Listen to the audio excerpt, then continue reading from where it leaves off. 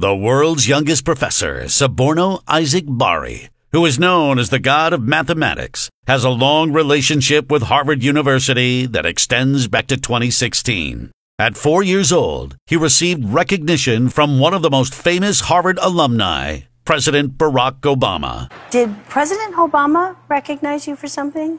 Yeah. How was that? That recognition created a ripple effect around the globe, which may have influenced Harvard President Drew Faust to recognize Professor Suborno Isaac's achievements in math and science in 2018. The moon attracts your girlfriend more than you. So that's basically um, kind of an analogy of gravity. Recently, he received an invitation from the Harvard College Project for Asian and International Relations, HPAIR, to give a speech. He accepted this invitation not because Harvard is the greatest university in the world, or because of his relationship with President Obama and Harvard President Drew Faust. He accepted it not because he wanted to reveal that he will run for President of the United States in 2048.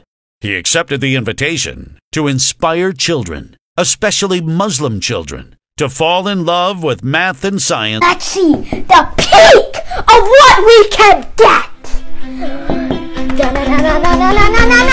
by sharing how he, as a Muslim child, fell in love with Sir Isaac Newton and Albert Einstein when he was two years old. All right, give me five. He was born and raised in a Muslim family. He will be giving the Harvard speech at a time when Muslims and Americans have serious tension in their relationships. This tension has escalated with the Taliban takeover of Afghanistan. In this speech, he hopes to plant a dream in the mind of every child in the world, especially Muslim children, to solve problems with math and science, not by guns and bullets.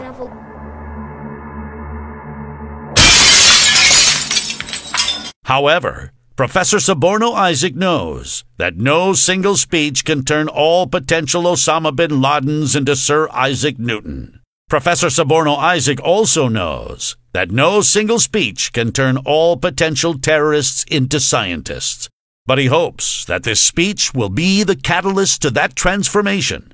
That is why Professor Suborno Isaac invites you to listen to his Harvard speech. I aim in this speech to inspire every single child, especially Muslim children, not to solve problems using guns and bullets, but